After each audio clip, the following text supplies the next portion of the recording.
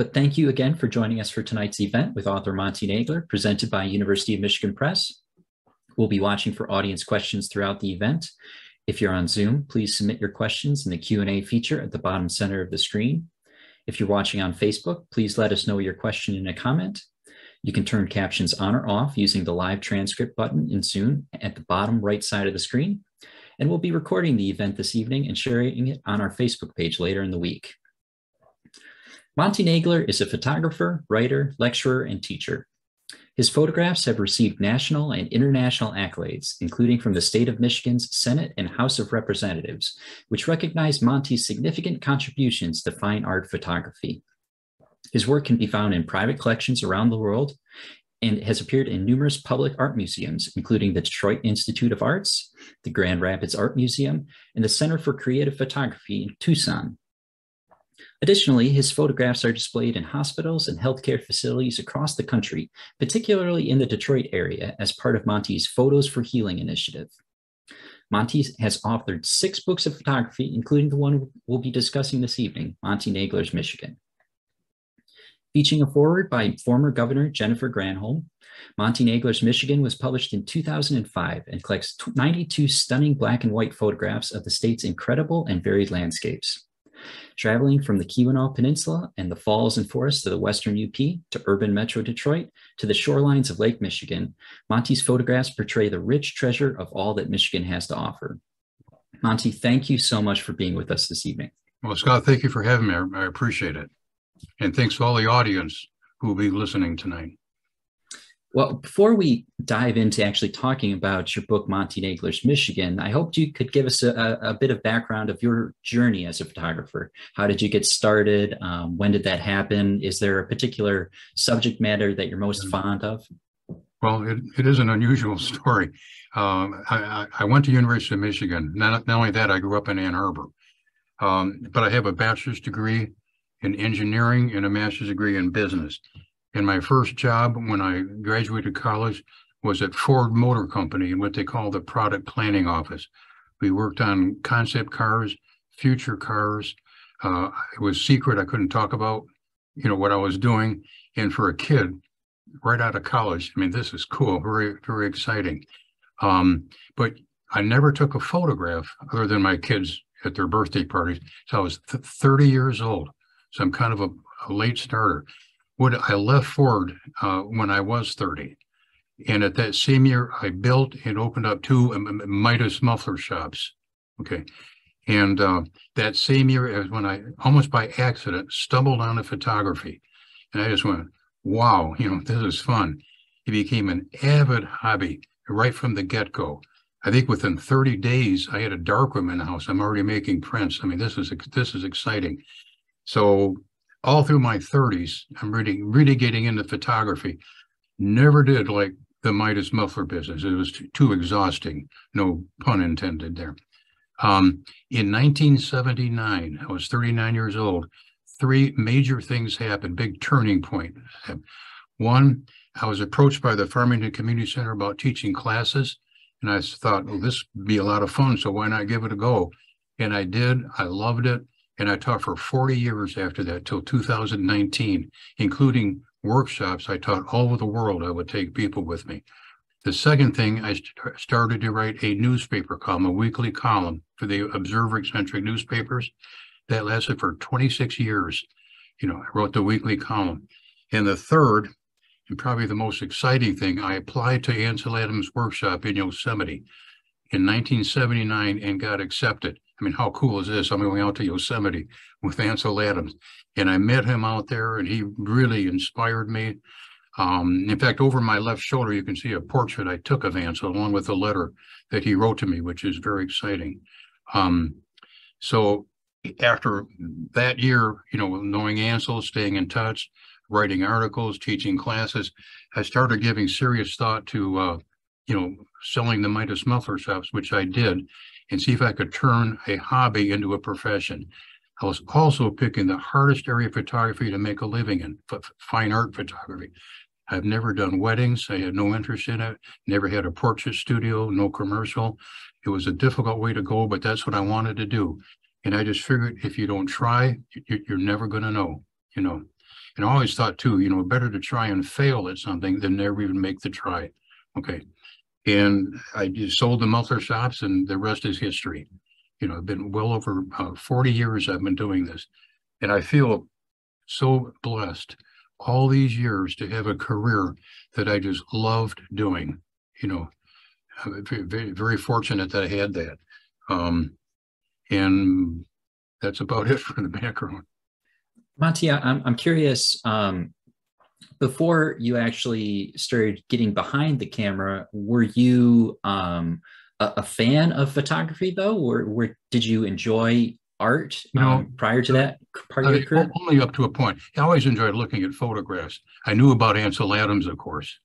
Um, and just making that transition for me was just seemed like a natural thing to do, very exciting. Monte, do you think that your earlier career working in kind of the uh, design space of the auto industry kind of contributed to you getting interested in photography or influence your uh, photography? Yes, I, I do. Having the, the technical background, having gone to engineering school, I think it helped me to understand the, the, the technicalities of cameras, so forth. It was a, it was a help to me. Yes. And it sounds as though um, you immediately took the deep dive into um, very serious photography um, early on. Um, no baby steps for you. No, it was a deep dive. I think all my life I've liked doing the big steps. You know, it's something I love doing. It's something I wanted to do, and I set my goal to make it happen prior to you actually going and studying with Ansel Adams, was there just mostly trial and error, or did you kind of um, try and take any classes before that? No, I, mostly trial and error, Vic. The only class I ever took was with Ansel, so I'm pretty much self-taught. You know, of course, I made a lot of mistakes, but then I, I learned from them. So, you know, pretty much all self-taught. And Monte has kind of um, your kind of main focus of, of landscape photography changed at all over the course of your career or has that always been you know the main interest? Well it's been one of my interests landscape photography but i, I like so many different subjects. Uh, if i go to a foreign country especially in asia i find their faces very exotic. Yeah, i really enjoy taking them. Um, horses have always been a passion of mine and I have a whole series of horse pictures I took. I really enjoyed that. But I think one of them is going to be shown later today. And cowboys. I always had an interest in cowboys. I have a whole series of cowboy pictures. So I was really interested in a lot of different subjects, landscape being the, the main focus.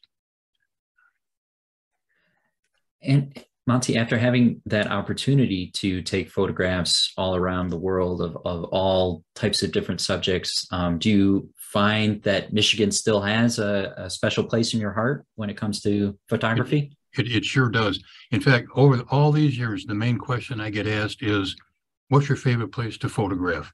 And I've been to so many, you know, exciting places, but Michigan is right up there at the top of the list. I, I love Michigan. There's so much photo opportunity in Michigan. Um, it's it's just right up there. I love it. You know, hence the the Michigan book. You know, but I have a lot of a lot of uh, you know, photography from Michigan. It's the it's, it's the best.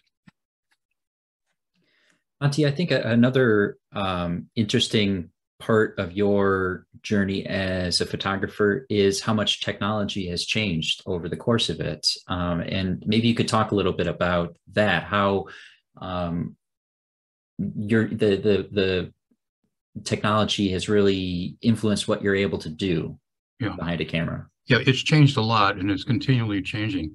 Um, when I started out, I was shooting just a smaller format black and white film cameras.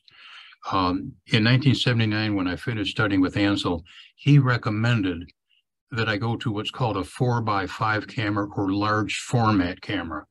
And if some of the folks don't quite know what that is. It's the kind, it's big, heavy cameras, always on a tripod. You get under the black cloth, you know, and you pull the slides in and out. And it was Ansel that suggested I do that. And as soon as I came back, I, I did just that. That changed my whole vision shooting large format. And photography to me became even more exciting um, than would it have been. Um, I was a dedicated film guy for a long time. Uh, digital at that point just it didn't interest me, although digital was fairly new at that time. Um, I love working in the darkroom. And I did all my own printing, even for exhibits. I did my own matting and framing. I, I did it all. In 2007, I went to digital. I was shooting a little bit of film and digital. Once I started digital, I went, this is neat. I can do so much more. You know, even though I was pretty savvy in the darkroom, you know, produce a lot of great prints. But with digital, you can do so much more. And I looked at the computer screen as a darkroom on my computer. Okay instead of the wet dark room, it's uh, it's on my screen. And I, I love doing digital, always have. And you can actually, you know, create uh, a lot more with digital than I could before. I look at it, my photography is like an artist or painter, starts with a blank canvas and they can add, you know, what, what he or she feels they want in the picture. I look at my photography as almost like a blank canvas and I could take a picture of, say, this barn and then I can get the trees over the barn. And if I don't have the trees there, I can create them from another image I have. So I'm able to combine lots of different images in one. And that was always very exciting to me to be able to, to do that. And I just got more and more into digital. Um, I just, I, I loved it. I, I wonder also, Monte, did, um, has when you made that move to digital, did it allow you to um, take more photographs and be just more? Um, I, I, don't know what what the right term would be, but um, just taking more shots than you might have if you were it, working in film. Yes, it did. When I shot the four by five camera, and I would say take a tree a trip overseas, um, you have to be very selective when you shoot that kind of camera. Um, if I came back from a, like a two week trip in Europe and I had 10 or 12 good shots, I figured that was a great trip. Okay. But now, once I started doing digital, um, I can just take so much more, but I'm still very selective. You know, I just have a little more to choose from. I, I don't believe like a lot of people shooting digital do. They'll go out and take a, a hundred pictures of a subject, and then they'll go through and select the ones that they really like. Uh, I did not do that. I just put put the ones that I really enjoy doing and just kind of whittle that down uh, to the ones that I really enjoyed. Did you continue working um, with film after you sort of made the shift to digital, though? Was that still part of your um, your approach? Uh, for, for, a short time, I did, and eventually I stopped the film. The cameras I were using were, were so heavy, and when I would travel, so much equipment I would have to take and then uh, my sore back wasn't getting any better. so, and then I went exclusively on all digital. Something else I, I wanted to talk with you about um, was your experience kind of taking that dive into making something you were very passionate about your livelihood. Um, I think there are a lot of people out there who um, are, are, really passionate about something, whether it be photography or some other art form, um, but don't really know how to take that step. Um, what was that like for you? Yeah, it, it is gutsy to take a step like that. But again, as I said, if you don't try, you're never going to know. But what I would advice I would give to um, photographers, even artists uh, coming up, is photograph the things that really interest you, that hold your interest, hold your passion. Okay, you've got to do that. Um, share your art with as many people as you can. You know, get it out there and share it. Um, and one of the most important things of all, you've all heard of the starving artist syndrome, which is alive and well, whether you're a photographer, painter, writer, or whatever. You have to learn marketing skills, be able to market yourself. You have to even take some cl- classes in marketing. Because if you can't market yourself, no matter how good you are as a photographer, it's going to be hard to make a living doing it. Marketing is just key uh, to everything. Our whole economy is based on marketing. So that's one of the main things is learn marketing. You know, get some books on marketing, take a class in marketing. And when you do that, you know, you can fine tune your skills with marketing, you know, and you got, you know, great imagery to begin with, then you're going to make it. Take the chance too. Okay. And, you know, and just doing what you love doing as a profession, you know, and it's so exciting to go through life with a job that you really, really like, you know. In fact, there's the old saying, he or she who loves what they do uh, for a living, you know, you know what I mean? It's, it's good. Never, never works a day in their life. Monte, in those kind of early days of um, you getting into photography, did you really go out of your way to seek out constructive criticism from people to kind of try and hone your craft even further? Oh, I always welcomed it. I always welcome criticism because you take in the right way, you're going to learn from it. You know, and when somebody, you know, critiques my photography, they're doing it with my interest at heart. They were trying to help me out by doing it, and I, I welcome that. You know, and over the years, yeah, a lot of criticism, but I, I really welcomed it. You know, and I would help out other photographers by criticizing their work, trying to help them, you know, you know, to to uh, to you know enhance their skills. On that topic, um, from your time working with Ansel Adams, do you recall any particular lessons besides the change in equipment um, that you really took to heart that you think um, kind of shaped the direction you headed? Yeah. Well, I mean, just being with him in Yosemite, I mean, that, that's a high, you know, just being out with him. But yeah, I learned what's called the zone system from Ansel. In fact, he developed it uh, back in the early 40s. The zone system is a way of seeing the world uh, of color, but you're pre-visualizing it in black and white, and then knowing what to do in the exposure, of the negative, the developing, and the printing to achieve just that. And that's what really the zone system is all about. So I use the zone system a lot, you know, you know, through, through my photography. Monte, I, I'm, I'm sure that um, training with Ansel Adams and kind of working on your craft for so many years helped you um, become the photographer that you are. Um, but did you come into the field, you think, with some some sort of eye, some particular um, skill that helped you get where you are? Was there something innate um, that helped you become a great photographer? Uh, I, I, do, and one of the most important things too is what I call vision, to be able to see things in, the vision. Um, I know a lot of amateur photographers, they buy all this expensive equipment, thinking that the expensive equipment is going to help them make good photographs. Then they wonder why their photographs aren't strong because they lack vision. vision is so important, you know. And without the vision, you just you're not going to produce great imagery. I think some people, it's it's an innate thing. They just have the vision uh, up to a point. I think it can be learned, um, but it is one of the the key elements. Monte, I, I, hope we could spend a little bit of time talking about um, your Photos for Healing project. I know that was a, a big part of your business. Um, could you you tell us the story behind that? Yeah, it became um, the big part of the business, and it started in the year 2000. So I've been doing it for and retired two years ago for tw 20 years. Um, my wife in 2000 quit her job in the computer industry to come work with me.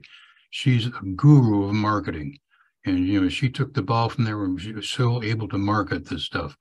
Um, and what it is i'm selling imagery to healthcare facilities hospitals all over the country especially in the detroit area. Um, i think there's not a hospital here in detroit that doesn't have pictures of mine in it. At university of michigan hospital i've got a number of them up there. The whole intent is to help patients you know get get through procedure to relax them Okay. I mean, just imagine you're a patient, you're going to go have an MRI and you get really, you're nervous about it. If you look up at the ceiling at an imagery, and a lot of mine are up in ceilings, put it on acrylic and backlit, it helps you to relax. It has been proven by what they call Press Ganey reports that art, you know, photography, art, music in healthcare really helps patients. And one of the biggest satisfactions I got all my career is knowing that my photography can help patients in healthcare get, get through a procedure that might not be too easy for them. We, over the last 20 years, we got so much feedback from hospital staff, uh, patients themselves would write or email, just saying how the pictures really help them. And that gives me, you know, a wonderful feeling. And you know, I, I wish um, we'll we'll share some links of of some of these images after um, the event this evening. Um, but we're we're not necessarily talking about um, just photos and frames like are behind you. Th- these are really integrated into sort of the the architecture and design of some of these facilities. Isn't that right? Yes, we work with the designers, with the marketing people at health hospitals. We work, and work even work with some of the CEOs of hospitals. And it goes beyond just a matted and framed image. Um, there, as I say, there are acrylic up on the ceiling, the wall murals uh, all over. The, the largest picture I ever sold is at Henry Ford main campus on Grand Boulevard. It's 89 feet long. That's the size of the picture. You know, it takes up an entire wall. And boy, do we get feedback about that picture. And a lot of them are just big murals like that, you know, which to me is exciting, you know, producing a big mural and going into a hospital. It, it must have been a, a extremely fun sort of almost working in that different medium. Um, still a photograph but in this completely different format than than you would work. It's different yeah. Mm-hmm. well i would take pa- panorama pictures too. So a lot of the murals began as a panorama picture. In some case cases we'd have to clone them together you know to create more to mirror the image in order to get the length that the hospital wanted. So we were, you know, easily able to do that, you know, with the, my, my technical assistant and in working with great processing labs too.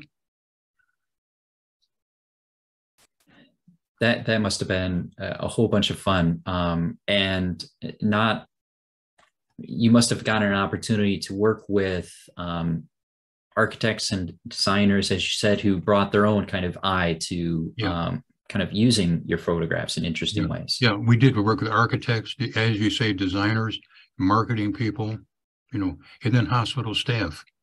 In some cases, we would present options to even the hospital staff, like the nursing staff, and ask them to pick out what, what they felt they, they would enjoy, what would help the patient's health. So I, I really like getting a, a lot of other people involved in the decision too. Well, for something sort of completely different than your work with hospitals, um, as we mentioned, this book, uh, Monte Nagler's Michigan, came out in 2005. Um, could you tell us a little bit about the story of how this came together? You know, um, as I said earlier, I, I, love photographing Michigan. I was approached uh, by U of M Press back then about being interested in doing a book of mine on Michigan. And I said, absolutely, you know, what an exciting project. And once, you know, I got the go ahead, I did a series of uh, what I call wandering trips around Michigan. I would take, you know, like a week or so, just go up the East Coast, photographing whatever moved me. You know, nothing in particular I'm looking for. I just what excites me and moves me. I did a trip up the West Coast, did a trip up to the UP, you know, gathering images. Now I had a good body of Michigan work prior to that because I love Michigan, had a lot of you know travels in Michigan, and then you know we, I talked to my wife and I once we got to go ahead and I think somebody U of M Press, his name was Kevin, said, who could we get to write the foreword? And then the most natural person to write a foreword on Michigan is the governor. So we approached Governor Granholm, set up a meeting with her. She was very receptive to us, receptive to the idea, and she agreed to do the foreword for me, which was, you know, very exciting. She was terrific to work with, by the way. So, you know, she did the foreword. In fact, um, when she was governor, she used my book as a um, the, like the state gift. When people would visit her in Lansing, they'd get a copy of my book, which again is re- really terrific for me to do that. So, and that's that's where it all came to be. And it was just really It was great working with the staff at U of M Press. Uh, it, was just it was just a wonderful experience. Monte, I know the book contains photographs um, taken kind of throughout the year. There are some winter shots, some spring, some summer shots, some fall shots. Yes. What is the sort of overall time frame you think um, that the book captures? When was the earliest shot? When was the last shot? Um, Well, it's a, a great period of time. I mean, re- those you know, wandering trips were more current imagery at the time, but I had a lot of body work prior to that. And I felt too, you can reproduce in black and white the four seasons, you know, even though there's color. I mean, you know, taking a fall picture, you know, in black and white, you can tell that it's a fall picture.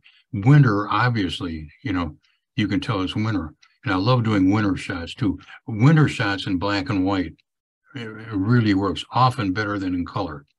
So yeah, I tried to capture, you know, all the seasons and it seemed to work out great. When you um, took those trips up the the west coast and into the UP, did you know that you were going to be um, taking black and white photographs, or was that still um, kind of up in the air a little bit? No, I think right from the get go, um, black and white is what U of M Press wanted.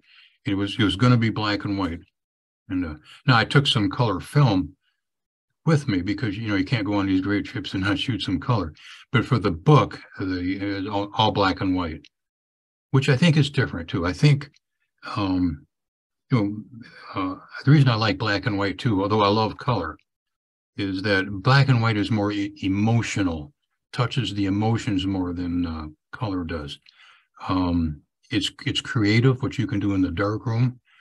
Um, an analogy I've, used over the years when people ask me, you know, color versus black and white, is this: color photographs are like going to see a movie. Black and white is like reading the book.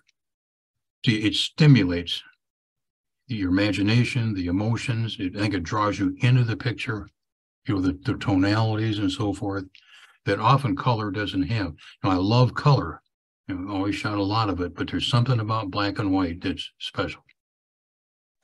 When you were um, taking those trips and you sort of knew that your medium was going to be black and white, um, were you looking at shots and thinking this is going to make a very good black and white shot, um, or just that this is a good shot, period? No, it was both. First of all, it's got to be a good shot, or I wouldn't, you know, make the images. But I mean, all, all my career when I looked at, you know, thinking black and white, it has to work in black and white. And sometimes they just won't if it's a color shot. It's got to be able to work in black and white or I wouldn't take it. So I think the imagery in the book were ones that, you know, I considered work in black and white. So. Monte, do you have a sense of um, how many photographs you kind of started out with that then you kind of winnowed down to the 92 that were in the final book? Uh, for the book, um, again, I was always pretty selective. But if I found, you know, a particular um, scene I really liked, I, I, think one of the pictures you might be showing is Bond Falls up in the western UP. I, I love Bond Falls. It's my favorite waterfall of any all over the world, seriously. And I've taken waterfall pictures all over the world, but Bond Falls is just extra special. So there, I, I took a number of pictures of Bond Falls. In fact, I think the Michigan book has about eight of them in, in the book. One of them you might be showing is that panorama one, you know. Um, this is so. Yeah, maybe I can just put that on screen now, Monte, and, and you can kind of talk us through um, that image a little bit. Okay. Um, did you want to pull it up or just want me to? Wait a minute. Should be coming up now. Can you see it? That's it. In fact, one of my favorite photographs. Um, yeah, that is Bond Falls shot with a panorama camera.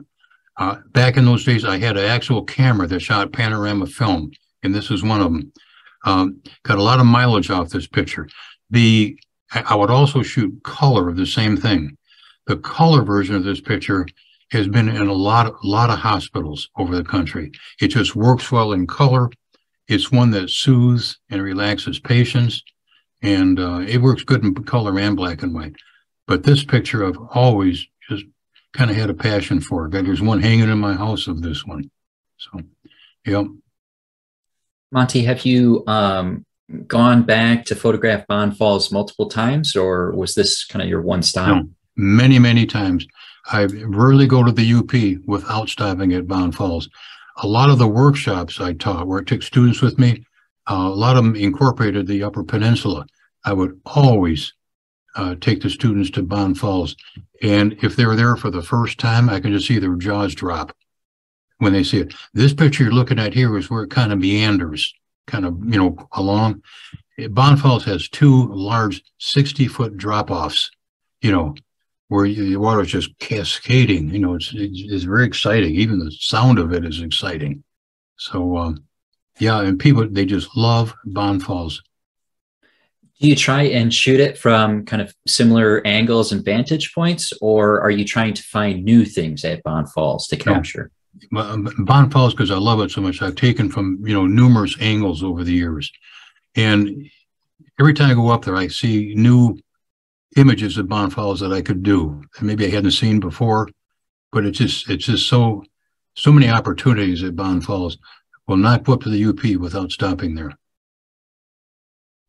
I'm also curious um, about your time at Bond Falls with students and and whether they have captured any shots that uh, of the falls that kind of really caught your eye um, that kind of you got to see the falls in a different way.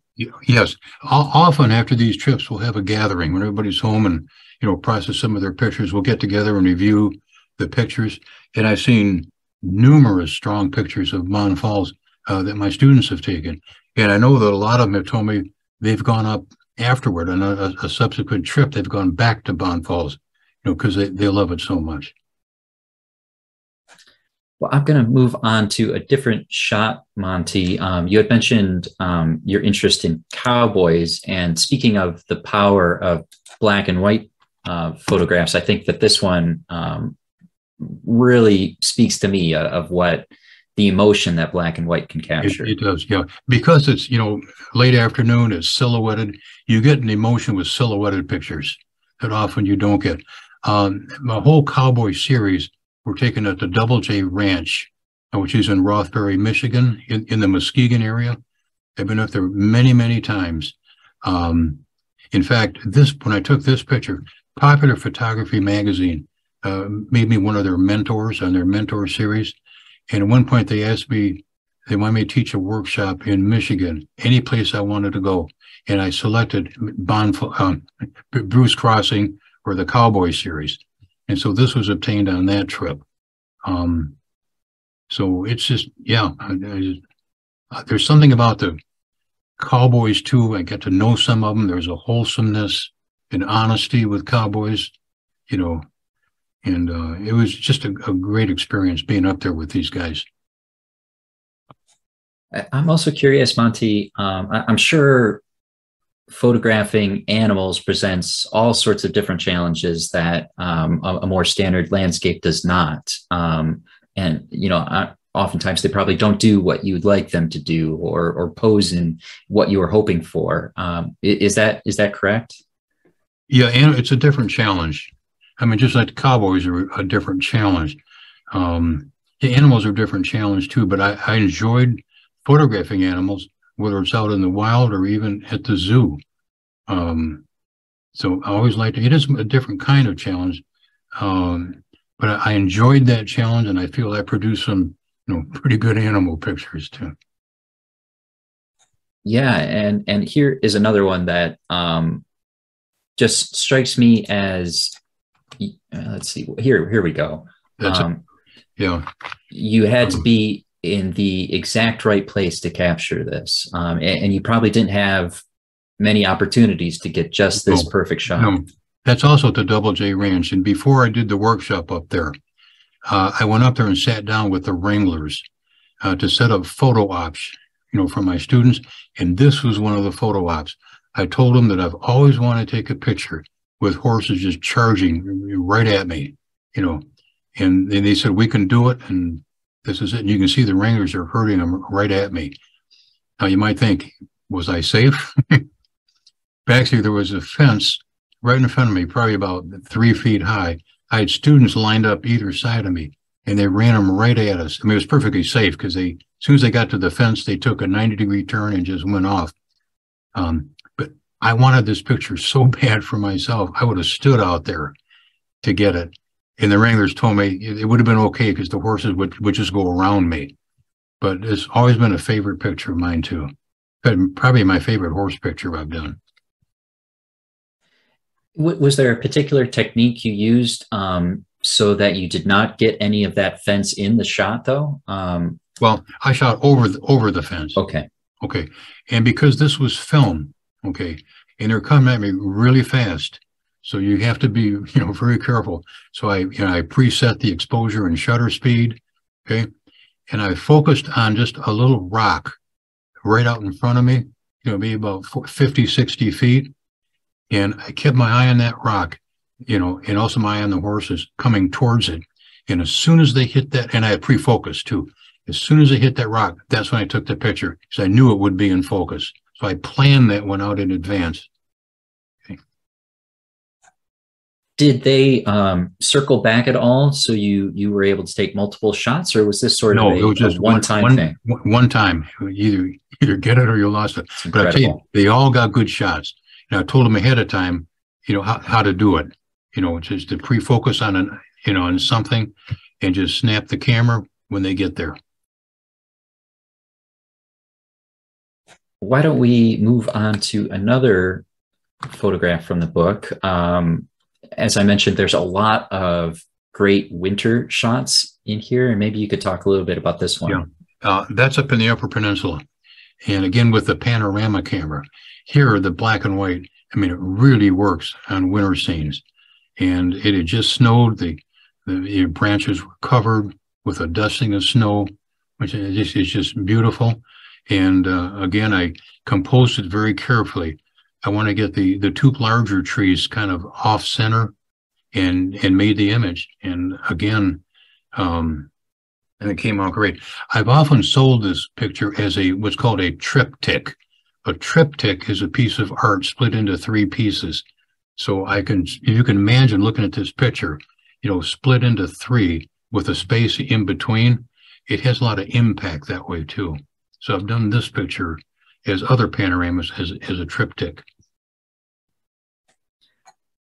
Monte, what I, I really love about this image is, um, you know, sometimes you'll see uh, illustrations that are so lifelike that they appear to be photographs, and this is almost like the reverse. It's it's a photograph that the lighting is such that it, it almost looks like a, a drawing in some ways to me. Yeah. It, it looks like an etching to me. In fact, the name of, that I've given this picture is snow etching. The, the trees are, are edged with snow. You know, I winter scenes, you know, you can get some awesome photographs winter scenes. It's cold, you got to bundle up. I think it was almost zero degrees when I took this. But you know, it's it's worth being cold to get a picture like this. Let's go to another photograph. Um, so we've seen that and seen that. And then we move into more of the kind of summer and uh, and That's- and spring scenes. That is Cro- Crooked Lake up near Petoskey. And again, here I just, the, the idea of the, the, the lone bench out there at the end of the dock, and it's kind of off center, you know, and use, I use the dock as a lead in line, you know, to lead into the subject. Um, make sure to incorporate some of the, you know, the lily pads in the picture and, um, had a great cloud day that day. I've always been a cloud person too. I always look for good clouds. In fact, I have a full folder on the computer of cloud pictures. So once I went digital, you know, if I wanted to add clouds to a particular image, I go right to the cloud file and pick out one that I think, you know, works with that image. So This one has that uh, sort of uh, amazing contrast between the very straight lines of the the man-made structures and then sort of the the natural spaces um, clashing with it in some ways. you're, you're exactly right, Scott. Yes. Uh, Do you um, find yourself drawn to that kind of intersection of the natural world and kind of more human structures? Yeah, um, I do. And I try to incorporate the two and make them work together in, in, in an image. So yeah, I, I do that too. Um, you know, if I take a picture of a, of a barn, I mean, everybody likes photographing barns. There I'll try to incorporate the barn, the fence, the background, which would be trees, you know, a, a great sky, you know, uh, maybe uh, have, have a horse in the picture as reference. Yeah, I do like to combine the two, especially on trips to overseas. Um, you know, to combine like in China, like a, a pagoda with a you know with a natural landscape, how it fits in with the landscape and so forth. To make kind of a statement with my photographs. That's what I really wanted to do. Monte, is is architecture sort of a passion of yours as well? It um, is. I like I like doing that too. Um, I thought we had a uh, an image of a barn in here. Uh, I'm afraid not, but um, yeah, please go on. Okay, well, this picture also. This is at the Double J Ranch again, up in Rothbury, uh, with a panorama camera. And you know, when I walked and saw this scene, to have those six boats just lined up perfectly, you know, it, it's natural for a panorama picture. And so here it's you know, panorama. I'm combining the the background of the trees, the reflection, you know, it all seems to work well together with this one. I'm afraid we don't have any of the images um, that you took from downtown Detroit, but maybe you could tell us a little bit about that, um, your time in the city taking photographs. Yeah, I, I, have a lot, a lot of pictures from Detroit, and when when we would sell pictures to, you know, buildings downtown Detroit who want to you know, show the image of Detroit in their building, I have a whole file of Detroit images. My my favorite, and it, it's not here. I took a picture of the Detroit skyline from Canada, okay, with panorama. Okay. Now this was digital, so it took, I think, six images to create the panorama of Detroit. Then I went back, it was like five weeks later, to the one night of the year where the Detroit buildings are requested to leave their lights on at night. It's kind of a kickoff to the holiday season. I shot the same picture, you know, at nighttime and then with you know a computer join the daytime to the nighttime so the nighttime becomes the reflection of the daytime to go one step further i took a panorama of the of the diego rivera mural at the dia which i think is probably the greatest work of art that the city of detroit has so i took that i converted that to black and white and replaced the clouds in the sky with the diego rivera mural Okay, and also put it in the water as a reflection. So you see the mural in the up above and down below. Okay. I don't think it, I've never seen a shot of Detroit like that before. And I've got a lot of mileage off that one. It's so unique and different, you know. And I just talked to somebody today. He says, I want to get a copy of that Detroit mural with the Diego Rivera in it. It's so cool, you know. So that's probably my favorite from Detroit uh, sold a lot of those. I think Henry Ford Hospital has a maybe a 14 foot one of that you know, somewhere in the hospital. Well, and that's just uh, a great example of where digital has really allowed you to kind of dream something and then make it reality, right? Exactly. Do you feel that um, when you were working exclusively in film, you kind of were more limited in certain, you know, in those ways? Um, yeah, I was a little limited in the creativity. You know, I mean, that would be an impossible shot to get in film. You know, take you're chopping it in. I mean, you know, I mean, darkroom work it w- was fun and, and it's a challenge too. You know, I enjoyed it, but you can only do so much in darkroom. So a shot like that last one I just des- described uh, would not be possible. I think we have one more shot. Um, here. Where was this taken, Monte? That's that's at Falls. That's the pathway uh, to get to the upper falls at, at Tahquamenon. And again, I think it's just it's just it just calls for itself to be shot in black and white. And I like that little mist in the center there, which has to get a little misty, really adds to the picture. I use the fence on the right as a lead-in line, you know, to draw attention into the picture. And that also has been a favorite winter shot of mine. Monte, when you were um, gathering these images for the book, um, and you know, I, I, know you went into this with kind of certain spec- specifications that you talked about with University of Michigan Press about probably how many photographs would be included, that sort of thing. Were there any that kind of got left on the cutting room floor that you you really loved and, and wish had been able to be included? Um, they got left out of the book. Yeah, I, th- I think there were a couple. I mean, you know, they were limited as to how many pictures could be incorporated in the book.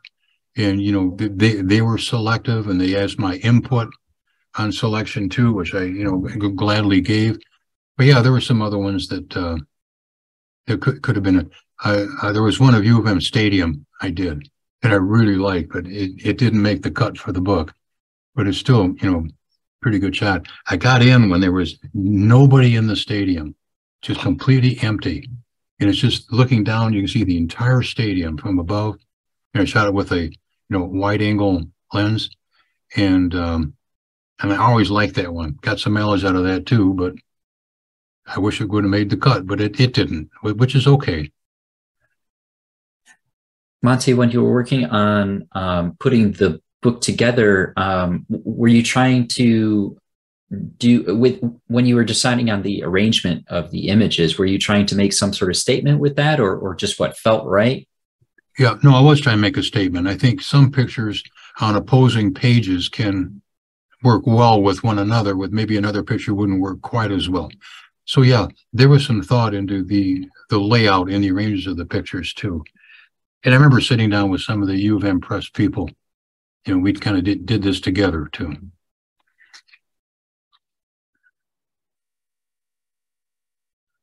Monte, I, I think that you mentioned um, you've also published another book or, or several at this point of photography. Could you talk a little bit about those? Yeah, the um, this this was my third book was the Michigan book. Um, the first book was called it was instructional uh, you know, I wrote for the Observer eccentric newspapers for all those years.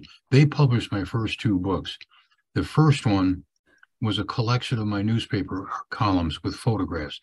The second book they did was called Statements of Light, which is a black and white pictorial book from all over the world. The third was the Michigan book. There was one uh, on Vietnam and Cambodia I did. Uh, there was one I worked with Loren Estleman, who's a mystery writer. Okay. Loren and I did a book together. Wayne University Press uh, did that one. Um, talking about his his fic- fictional character Amos Walker. Okay. Uh, the book after that was called Quartets. I published that one, where it's a it's uh, each page has a quartet of photographs that all relate to each other. Um, a little hard to describe, but you have to see it. And that book did really well. And then um, the book I just did, because it's difficult to photograph anymore, and my memory for all my photography works pretty well. my wife may not agree that my memory works, but it did. So what I did, it's called um, um, just I took 67 photographs from around the world over a 47 year period, ones that had interesting stories. So the book is called, you know, the story behind the picture. So and it's actually sold out.